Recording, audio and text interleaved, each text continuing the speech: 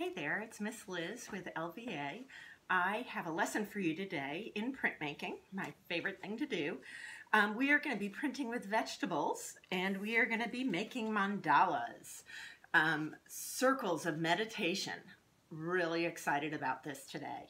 We're going to talk about color, we're going to talk about shapes, we're going to talk about size of shapes, and patterning. So you will need a sheet of paper. I would go bigger than 8.5 by 11. Um, if you have 11 by 17 or is it 12 by 18 paper, that would be wonderful. You're going to need a pair of scissors. You are going to need vegetables, so you'll need to ask for vegetables. I grabbed celery, carrot, onion, and potato. Um, if you need help slicing them, please get that help. And then I also have watercolor paints. Now I didn't have one of those beautiful little trays that I bet you guys have at home. So I had to use my tubes of watercolor. Um, these are from college and they're over 30 years old. I know, kind of crazy, but it's time to use them up. Um, and yeah, be freaked out that it's been over 30 years, but man, art supplies, once you invest in them, they, they are good to go. I've got some water and I've got some paintbrushes. Okay, so the first thing we're to do is we're to take our paper. Here's my 11 by 17 or 12 by 18. And um, gosh, doing a circle on this is to be a lot more challenging than doing it on a square. So the first thing we're to do is we're to fold our paper. We're to take one corner and fold it on the diagonal. Okay, what am I doing? I'm creating a square piece of paper. What? And then this residual or remnant, I'm just to cut off. And I'm cutting it by hand Eyeballing it is good. I think that's great. And then I'm to save this little sheet of paper because it will become um, kind of a palette if I need to do some uh, practice stamping. Okay, I'm going to open my paper. Now I had um, I had thought about different ways to get us going on, on getting that circular shape and I realized we have a diagonal fold. So what I want you to do is open your paper up and fold it on the other diagonal, okay? Those creases are gonna become your guidelines. And I actually found it easier to flip it and use the uh, folds kind of popping up a little bit okay? So I chose celery and I just sliced it pretty straight, okay? But then on the other end, look at that. It had three little pieces. So I thought, oh, I'm totally using that. With my carrot, I sliced it, but I didn't do this wonderful smooth job, but I'm okay with that. I sliced my potato. Now you can see I've already used these for my samples. Here's one that's that not been used. And then I sliced my onion. I sliced my onion so it had a full circle. And then the other side, it, yes, it had a full circle, but I sliced it then again in half, okay? And when you um, get these vegetables, um, like the potato and the onion are gonna have a lot of water in it. They're, they, they've got water in them as they're growing and, and um, it's really great to have that moisture in there for cooking, but with printing, um, sometimes that water can get in the way. I use them wet on my sample, but um, I let them dry out. I've been letting them sit for a couple of hours. And what's gonna happen is there's gonna be more patterning and more texture showing up in these prints, okay? So now color. Um, like I said, I've had tubes, so I squeezed out different colors. All right, so I'm gonna put my paintbrush in the water and I'm gonna wake up my yellow paint and my brush is gonna roll away from me. And I actually uh, had two different yellows going. Oh, I know what I had. I had an orange going. So what I did was I took some red which is a big old blob over here. and I mixed it with the yellow to create the red I wanted. I didn't have, uh, I mean an orange I wanted. I didn't have an orange tube that I wanted to use and I love mixing colors. So I don't have a problem with creating them if I need to. Let's see if I can move these over for you. Um, I have a red. Okay. I'm just kind of waking it up. I like using, oh, why did I choose watercolors? Well, I didn't want to use acrylics because once you get those on your hands and on your clothing, it doesn't come off. And I didn't have any tempera paints at home, so couldn't use them. Um, and I had watercolors. And I've done it with watercolors before, and I like that you can mix the colors. And I like that um, the water in the paint kind of gets gets the um, texture of the plant to show up, texture of the vegetable to show up. Okay, so then I also had a blue. And my water's already dirty. Oh, so when you fill waters, you want to fill it halfway. And um, from all my years of teaching my students, I would go, why are we filling it halfway? And, and they would say, because if you spill it, you only spill half as much and that's my rule. Now this one's a little bit, uh, has a little bit more for the demo, but only fill your water container half. If it spills, half as much to clean up and everybody's a little happier. Now you couldn't see this, um, but here's a purple. I had mixed a purple as well. And these are old cookie trays. I just figured why not use them. I think it makes it a little bit harder for you to see what's going on I apologize for that, but um, we're at a time where we're, we're making art with the things that we have at home. Okay, so now I have my sheet of paper. I have, oh, I had a green too. That's what my other brush was for. Gosh, okay, I've got a lime green. And um, I wanted to have a variety of colors to work with. Um, and I want to be able to repeat those colors in my design. So that's why I have them mixed up. And then um, once I've put a color on my vegetable, it pretty much has to stay that color until the, the paint dries on it, okay? So this was orange. Actually, let's be fancy. I'm gonna use my new potato. Woo! And it's oval shaped, but it's got this little star in the center that might show. And I'm going to start out by using the blue, okay? And I'm just painting the blue on. And I'm not globbing it on. I'm not puddling it on. I'm just getting it all over, okay? And then what I'm going to do is I'm going to put it like halfway up my, the X, the folded line, okay? And I then print it okay? And, and gosh, I printed without talking to you about the printing. So what I'm gonna do is I'm gonna paint it back on and I'm gonna take my potato and I'm gonna put it on the fold line, the creased line. Actually, yeah, I'm gonna do that. And it's gonna be about equidistant from the center as the other one. Now notice I'm kind of rocking and rolling my potato back and forth. And I put a piece of cardboard underneath so that I've got a little bit of cushioning. Now there's still a little bit of paint on here, so I'm gonna do my other folded edge and I'm gonna rock and roll and oh my gosh, it looks different, but I love it. Okay, we aren't going for everything looking exactly the same. We're using natural materials. We're using potatoes. We're using onions. It is okay if things look a little bit different. We're relying on creating a pattern that actually helps um, create the familiarity in the group. As you can tell, I can't print and talk very well at the same time. Okay, so then I did two more.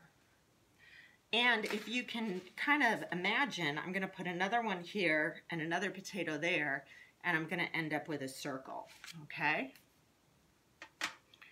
And I'm applying a little more paint. And so notice I'm not really messy about this. I'm not really messy because you make a mess, you have to clean up a mess. So I really like staying as clean as possible. And then ta-da, that is my first ring of my mandala. I'm gonna do some rings on the inside and do the outside, but this is my guiding one, okay? Now, did you notice um, I made a, a, a mistake? So if you look at this potato, right here, this print, it's, it's lining up differently than the other ones. How upset am I?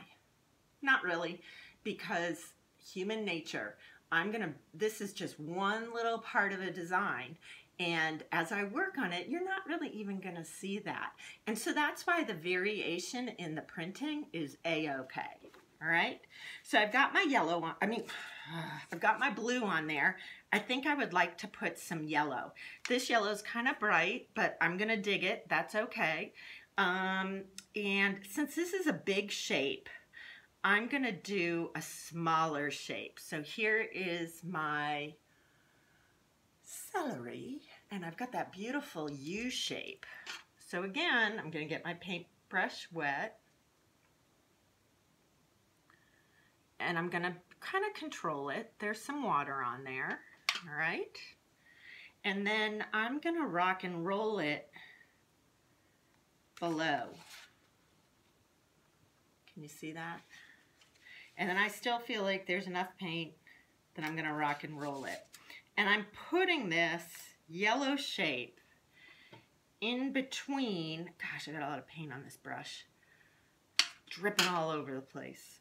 Um, I'm putting it in between each of the blue potato prints.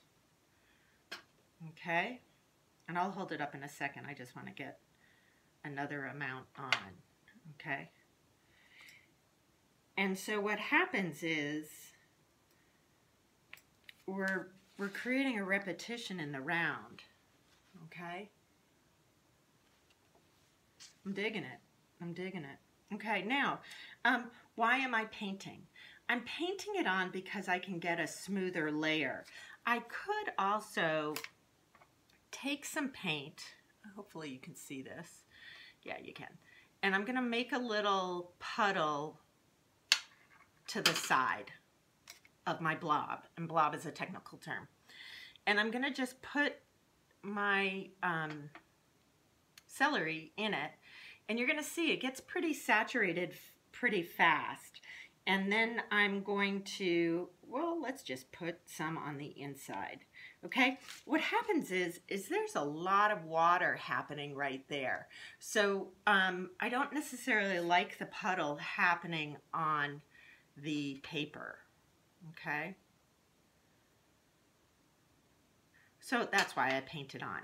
Sometimes when I feel I can control the paint, I will just stamp. But man, this is looking like a nice flower. Okay, I'm going to stamp because I don't want to take the time. Ooh. And I'm getting the next round in. Okay, so I repeated that um, celery shape and I'm pretty psyched about it. Okay, and I've got a yellow and I've got a blue and I'm feeling, I think I want that purple happening um, I had blue on this before. I'm just going to take a little bit of water and remove some of that color. How upset am I going to be if I have a little bit of blue in my purple? Not at all, because there is blue and purple. That was a trick question, okay? Um, I hope I have enough of this too. So here is my purple. It's going to be pretty light because I think there's a bunch of water there, okay? And I'm just going to put it, rock and roll it to the side. Yep, I can see the blue in there. Okay. And it'll, it'll take a couple of stampings to get that blue out of it. But I'm kind of digging it because um, it sits really nicely with the blue. Oh my gosh, I almost put blue on there. Did you see that?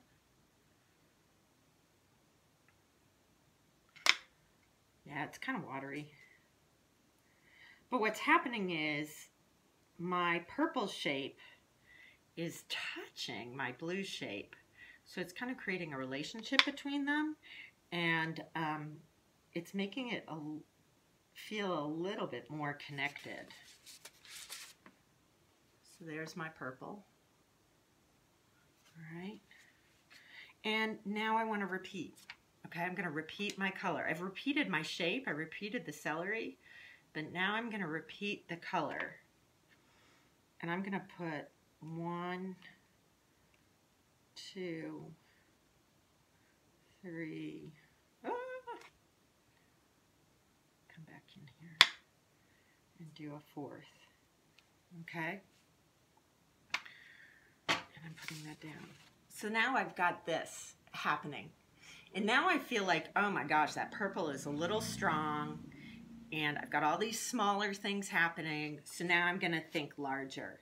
And I have been letting this onion sit out and I really wanna see what it's gonna be. And I love lime green. So I am going to paint the lime green on. Now I let this onion sit out a little bit, so what's happening is it is soaking up the water in the paint. And then I'm going to put it, ah, where am I putting it? Above the purple. Okay, and I'm rocking and rolling a little bit. Oh look, this little onion has a handle for me. Okay, and I put the green on. That is the wussiest green I have seen in a long time.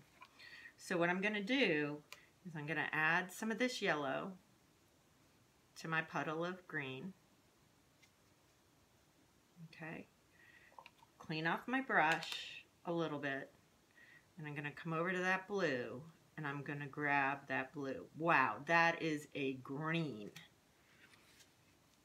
It's not a lime green anymore, people. It's more like a grass green.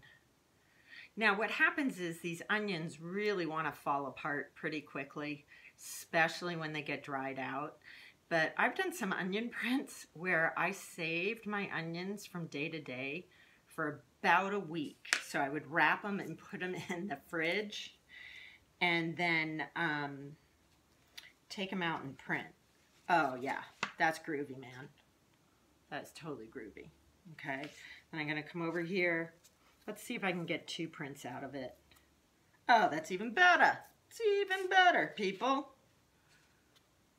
Okay.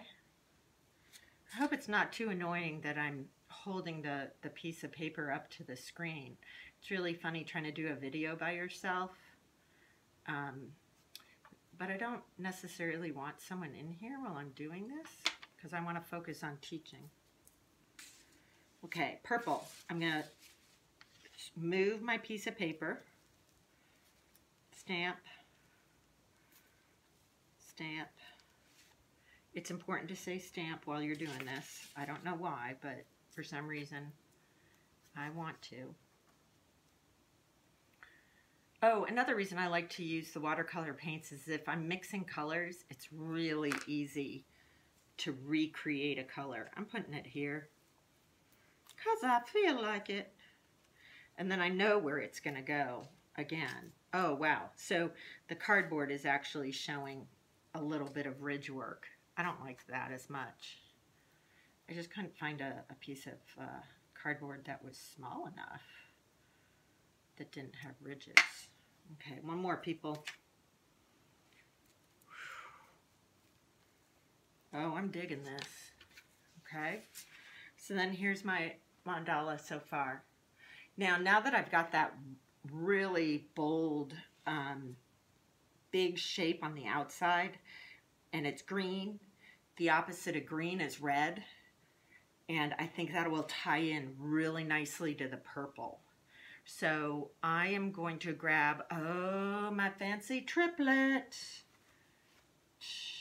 I'm dipping it in the water and getting that yellow off of it. This is what I have the paper for. What am I doing? Just clean it up a little, okay? And then I'm going to take this red. Oh, and it's dripping. I was too excited about printing. I put a little too much on there. Um, ooh, I'm going to have it be on top of the blues in between the greens. Now this one has a lot, so I'm just going to take that extra. I'm digging this, people. Okay. Now, you can also let your watercolors dry and then put um, print on top, which is what I'm doing right now. I'm printing the red on top of the purple. And then you get some color mixing happening. So we're getting a little more sophisticated. And we're getting the color happening. So I can keep going with this. I'm so excited. I want to go back to that yellow. Okay. And I'm going to put it above the red. So what's happening is the celery has a coat of paint on it so it's holding the paint really nicely so I don't have to reapply it so often to the vegetable. Okay. Um, potatoes work well. Oh, a sliced apple works great. An orange does not. Do not go for citrus. Um, beans, green beans I wouldn't do. Potatoes of all kind root vegetables, a, a beet or something would be great. But honestly, I, you know, you can take your potato and cut it into different shapes if you wanted to. But working with mandala, I think the circle, half circle uh, makes sense. And here is our mandala. Okay. Now, when it dries, I might put a couple more layers of colors on top. Um, I actually want to do a blue, and gosh, you guys, you got I got to keep going. This is this is so relaxing to do.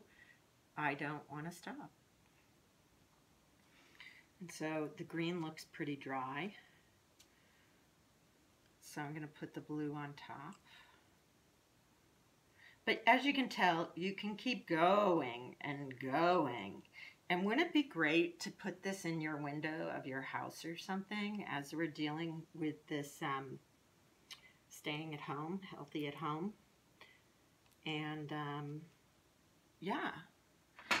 Oh, what I was going to say, last thing. Here's my design. I can let this dry and then I might outline the shapes with a black fine line pen. I may not though because I think it looks pretty natural right now. Um, really digging the layers and I'm, I'm enjoying how the colors, uh, the repetition will lead my eye in. So this is a mandala. It is to meditate and think of wholeness um, and peace. And I hope you have fun making one. Thanks a lot. Bye-bye.